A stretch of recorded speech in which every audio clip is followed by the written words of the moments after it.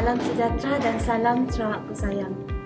Video ini merupakan perkongsian pengalaman jabatan kami dalam bekerjasama bersama Pustakaan Negeri Sarawak dalam pengurusan kewasapan koleksi berasaskan kertas jabatan kami sebenar Minggu Akhir Sedunia 2021. Seperti yang kita sedia maklum, Jabatan Museum Sarawak sedang giat dalam proses perpindahan koleksi-koleksi yang berada di beberapa stor penyimpanan sementara jabatan kami ke pusat penyimpanan tetap koleksi baru kami di bangunan annex Jabatan Museum Sarawak.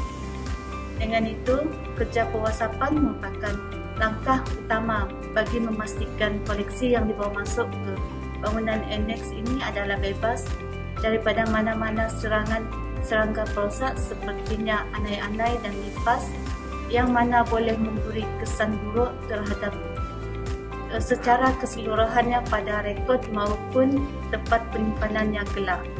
Berikut merupakan persiapan untuk proses pewasapan yang telah dijalankan di Jabatan Museum Sarawak.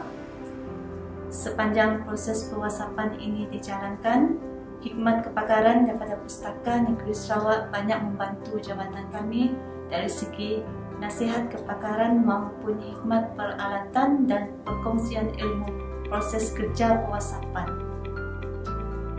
Pewasapan ini merupakan satu kaedah pemeliharaan dan proses yang menggunakan gas ataupun asap di mana gas ataupun asap ini mengandungi bahan kimia yang digunakan untuk membasmi ejen perosak bagi memelihara koleksi kita khususnya di tempat penyimpanan daripada unsur-unsur yang boleh merosakkan atau memusnahkan rekod.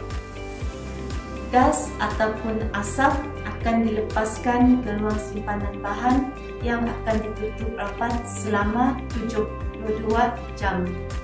Melalui proses ini, serangga perosak mudah dihapuskan melalui gas ataupun asap yang boleh meresap masuk ke dalam bahan tersebut. Dengan menjalankan kerja pewasapan ini juga dapat melindungi dan memelihara rekod demi kepentingan dan khazanah ilmu untuk generasi yang akan datang. Selamat menyambut Minggu Arkib Sedunia 2021. Bersama-sama kita memutuskan rantaian COVID-19 stay at home. Kita jaga kita. Selamat menyambut Minggu Akib Sedunia 2021.